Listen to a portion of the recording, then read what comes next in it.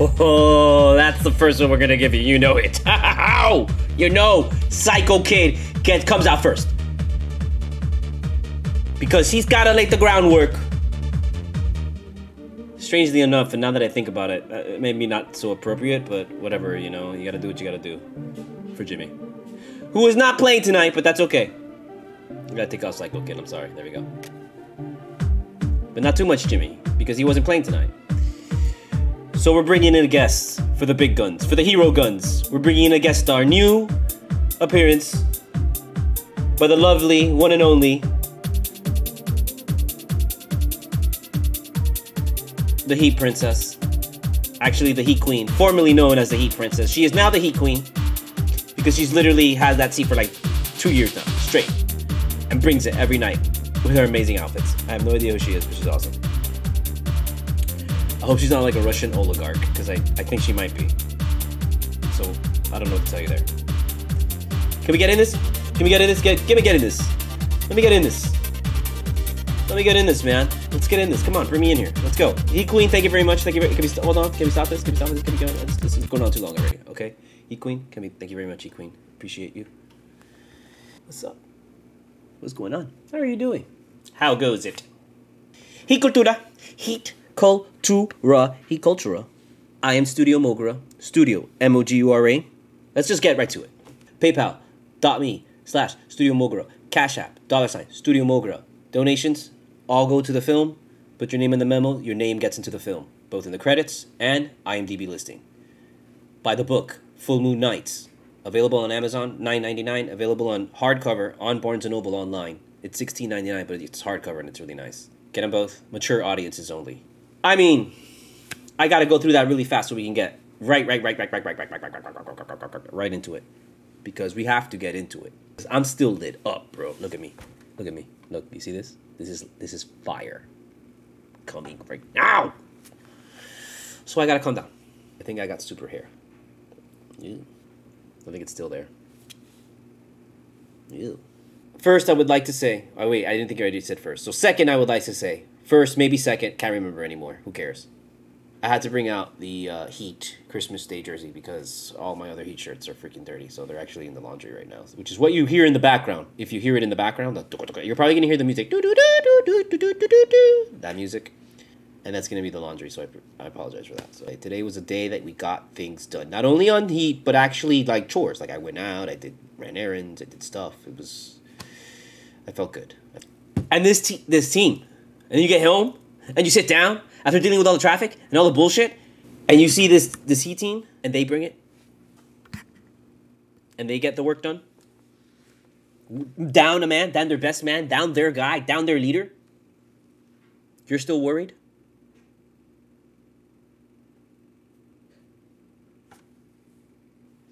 Hmm. Hmm. You're still worried. Okay, I'm not gonna lie. I was worried for a minute there, but I was like, you know what? I brought myself back to reality. I was like, look, this this, this happens. Just move forward, move forward, move forward. Because if we were sh- not showing improvement, that's where we had a problem. I mean, like, there's team other teams where you can point to and you can look to how they're not showing improvement. You need to worry about them. You don't need to worry about us. This was an exciting. I mean, you don't get to see these kind of game-winning shots very often, dude. This is why this guy needs to have the ball at the end of the game. You know, in the small amount of time that we have seen Herro play for this team, he has had a number of like crucial, big-time, clutch shots, bro. He, he has been dynamite, dude. He's shown you that he is a guy that you want the ball in his hands. You want the ball in his hands more than you want it in Jimmy's hands. You know, Jimmy takes that three against, you know, Celtics, and I'm like, let's go, Jimmy, take me. He, and I know he's probably to miss it, but whatever, dude. If he hits it, Jesus Christ, that would be amazing. But if Herro takes that three, I have the utmost confidence that it's going in. I'm like, that's it. We just beat these people. He took that shot, and I let me tell you, something. that shot, the way that he took it was well, the amazing thing was that that was the third time that he had to pull back, regather, and then he took the three. He did it once, I believe, in the first half. Again, it happened. You know, in the second half, where they were both in the second half. I think it was once in the first half, once in the second half, and then it happened that third time. And that third time, when he had to do that again, man, I was like, he's gonna get it right now. He's gonna get it. Herro is that guy, bro. First, I was gonna call this episode Max More Like It. But then when Eric Reid said, you know, Tyler was the hero. And that's what that's why I'm like, mm, that's the name of the title. So Heat Cultura, season two, episode nine. Nine. Look, man, I don't know. What pisses me off about Sacramento is that, like, you know, they're gonna play you hard, and then you know they come out here and they beat you and stuff like that, and they fuck up your shit, and they're not ultimately gonna fucking do anything. You know, you know they're gonna end up like one of the worst teams in the league, and it's like, what the hell? And like you look at that team, and it's like they've got good people. They've got enough good people. They got great players. They got you know, Huerter is like he hates us because he, of, of the of the Atlanta deal because we used to always beat him in Atlanta. So he hates he hates us. So that's why he was just like nailing everything and doing it. Sabonis is great, dude. And with I didn't know Dellavedova was there. And Dellavedova is you know a veteran leader. He's a veteran guy. He could you know he could lead you. He's like Dragic almost. So it's like they've got a good team.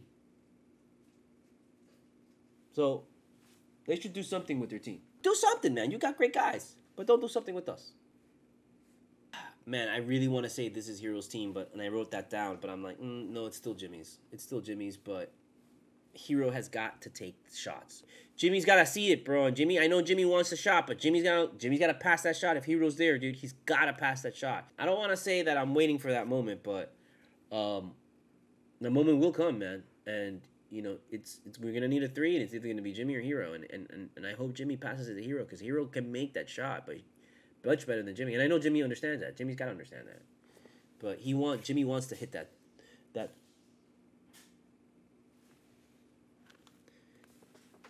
Sorry, I heard like some shit like, and I'm like, what the fuck is that? Is someone like trying to get into the house? It's like the stupid fucking laundry shit, which I bet you gets picked up. And I bet you you caught me like freaking. I'm like, oh my god, what the fuck was that? I'm gonna I'm about to get stabbed. Whatever, bro. If I fucking get stabbed, I fucking get stabbed, and it comes out streaming online, and it goes famous and viral. Oh my god! Oh, he got stabbed by Freddy Krueger. Whatever, bro. You know, shit happens. You gotta get stabbed, you get stabbed. I mean, I, I had shit for every guy, bro. Strus just fucking absolutely terminated. That's right. He's the Terminator. Okay? And when he hits some shit, he terminates you. He Strus hits you, and then he's like, Terminated. That's what Strus thinks in his head after every shot. Terminated. We need one of these in here.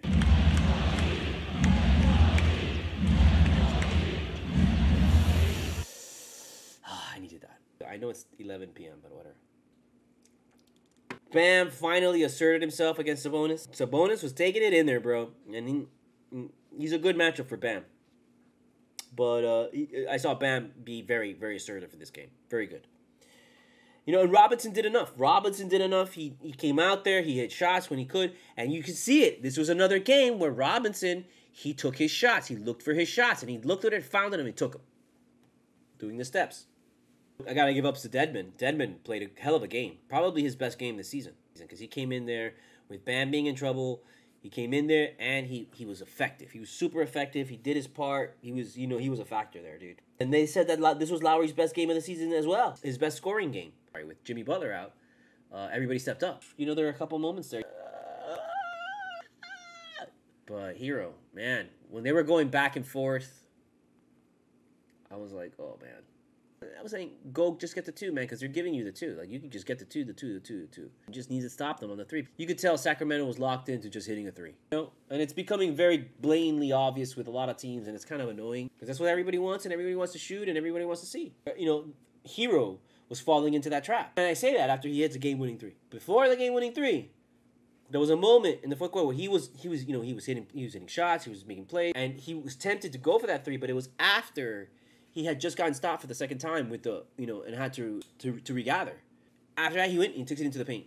And so when that last time where he had to take that three, it was like, and he had to regather again. It was like, oh fuck. But I remembered, that yo, he had he had done it twice, man. So this might be, he might get this one.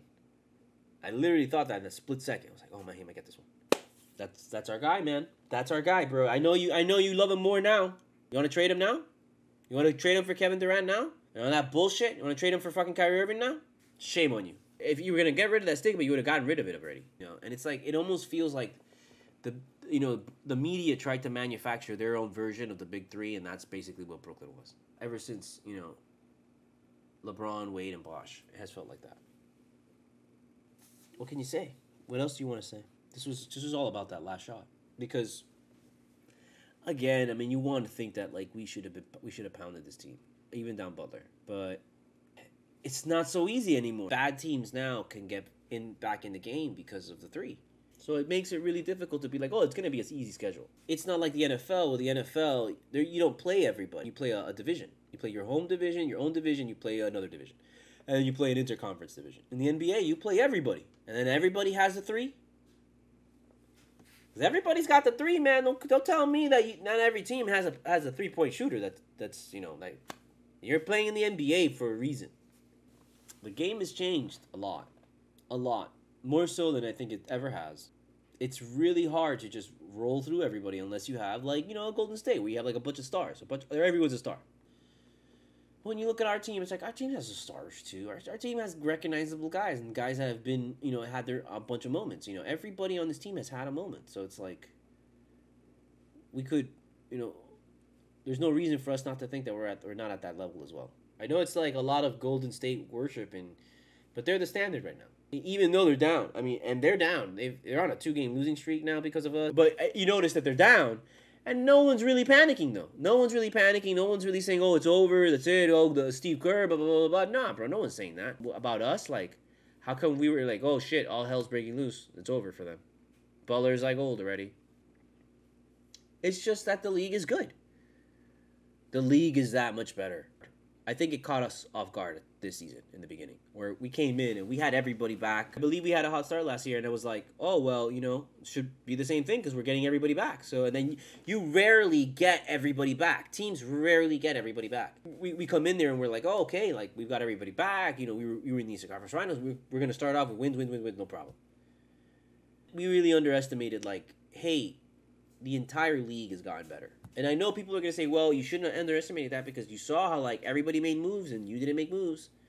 And I, I'm, I'm okay with no making not making any moves because we got a lot of guys. We got enough guys. We, we, we were good. I don't want to say someone more reliable at three because Duncan right now is starting to step up. He's showing you. He's had his flashes, but he's just got to be more and more. We need more. And I think it's just playing time. Put him out there. Put him out there. Put the ball in his hands. There were a couple games last year where he was like the point guard, you know, where he like played point guard. And he did really well. And I think he's great at passing the ball. That's what I mean. You saw that with him in the connection with him and Bam. It's not the same as before, where it was like he comes in there and he does nothing. He's not even effective. He's like, and then he disappears and he goes back. And you're like, what the fuck? I would have liked to see more of him, but I don't want to say we, you know, you didn't need him, but oh, you know, I guess we didn't need him because you know we won the game without him. But at the same time, he did have a couple wide open shots that he missed twice. He had one, two in a row, and missed it. So that's why it's like, okay, well, guys are going to miss shots. You can't get really too hung up on that. It's not about the fact that whether they made the shot or missed the shot. It's about did they take the shot. That's ultimately what uh, gives you the passing grade. Like if you make the shot or miss the shot, that to me, sure if you if you miss every single goddamn shot for like a record fucking streak, I mean at that point goodbye. But it's not really like that. To me, it's like if the guy does a guy show that he is willing and wanting to take the shot? Like I don't think so, bro. That the whole big three was all alphas. Golden State, that's all alphas. Boston, Milwaukee, those are like teams that are practically all alphas. Everything changed after those early years, man. So this is the those that that was the foundation of this generation. But look at that, man. Four and five. What have we been talking about here? What did I say before? The focus is to get back to 500, bro. We get back to 500 and everything's, you know, a little bit more calm. Even now, right now, everything's more calm. We're okay, bro. You don't want to stick in this area, but okay, let's go into let's go into Indiana and let's get a game from the Pacers now. Now we got to get an Eastern Conference game. Now we got to start focusing on the Eastern Conference because after that, we're gonna have Portland coming in, and I know they're pissed off. But hey, welcome to South Beach, bro. And then we get Charlotte twice, and I don't know if Charlotte's good or not. I mean, they're never ever good. But you know, they always have that year where it's like, oh, they're good, and then they're not good. So I don't know. You tell me. Are they good? Are Charlotte good this year? Should we be worried? Because I have no fucking idea. Do you fucking know? Oh, you know all of a sudden? No, you don't. Nobody knows. Who gives it? Charlotte doesn't even know if they're fucking good. So I don't know what to tell you. I'm not gonna worry about Charlotte. That's two times back to back. No, two times Thursday and Saturday that we play them, and we, I don't care. Win one of those fucking games, and, and I'll be fine. I'll be happy because the goal goal is to get to 500 at the Pacers. You got to imagine they're gonna drop one of those fucking games, and then you got to protect home court against Portland. You can't let Portland come in here. You can't get you can't let no team from that far out west come into Miami and fucking win. You gotta show those people that hey, that's that's too long of a trip for you. More so than it is for us to go up there. And it would be harder for us. It's harder for us because when we go up there, the the altitude is elevated. And so people from Miami and people in Florida, like they die out there, you know? And them coming down here, oh, it's great. There's more oxygen down here. But there's also more cocaine. Uh, there were 26 lead changes in this game. How crazy is that? But they had said if the Heat lost this game, it was a, it would be really bad. And of course, it would have been really fucking bad if the Heat lost this game because it would have been four losses at home. And that's significant because the only other team to have four losses at home is the fucking Nets. But we're okay, man. We're okay. We're doing fine. This is just the road. This is just the path. This is just how it is. You know, pull out these games in the end, man. We gotta find our guys who are willing to go take those shots. And Herro is the guy that will always take that fucking shot. It is a blessing to have a guy that wants to take the fucking shot, bro. And even it's a fucking miracle. It's a fucking miracle to have a guy that wants to take the shot and can actually hit it. Herro can hit the shot, bro. So I want him taking it always. I don't give a fuck anymore, man. Don't even bring that shit to me. Well, that was exciting. So enjoy it. So we're gonna we're gonna bounce out of here so that I can at least have you know uh, some time to to edit the thing and, and get it out of here. But just like that, man. You know, boom, four and five. We're doing good on the road. Now we're gonna hit the fucking Pacers, bro. We're gonna hit them in the fucking mouth real good on Friday, dude. So just get ready for that. And then you know what happens, bro. After every game, he go through the win or loss. That's what we're gonna do, bro. So uh, I don't know, man. I was even thinking about maybe going out to see the game, like to a bar or something. But I, I never like to do that because I don't drink, so I don't really. Uh, I kind of don't see the point, but um, but I was thinking about that. Maybe maybe now maybe I should do that. Maybe I'll do that. And if I do that, maybe I'll, I'll record like at least the audio version of Hiko do that from outside, and we'll see. We'll see what we do. Maybe I can make it something weird and different. Um, okay, so Heat Cultura. We're back at it again. Friday night, 7 uh, 7 p.m. the game starts. So after the game, Heat Cultura starts. I'm sorry for the late start for today. I just had to get everything fucking going. And, and, and there was, you know, I, I was trying to edit literally to just, it was the GIF. I wanted to get the GIF of the, of, you know, the Heat Queen. And that was a fucking problem. And it turned into like a three hour fucking job. So I don't know what to tell you. But, uh, okay. So, Heat Cultura. Hikultura. Heat Cultura. I am Studio Mogura, Studio M O G U R A. PayPal.me slash Studio Mogura. Uh, Cash App, dollar sign Studio Mogura. Hit it up. Put your name in the memo. Your name gets in the film. Your name gets in the credits in the IMDb. Buy the book, Full Moon Nights, mature audiences only. There's too much drugs and too much sex and like craziness, you know, for, for, for younger audience. Sorry, can't have to do that. So just, you know, hit it up. But you know what? You know what? a lot of that shit happened, to be honest with you. A lot of that shit happened in high school, man. So if you're a high school 17 year old, you can do it. I think you can. do Anyway, you'll be fine. It'll be fine. Don't worry about it. You, you go see all these horror movies, man.